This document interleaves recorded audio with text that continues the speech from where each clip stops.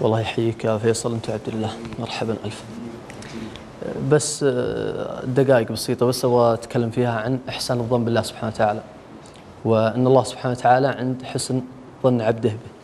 فكم من مهموم أحسن الظن بالله سبحانه وتعالى ففرج همه.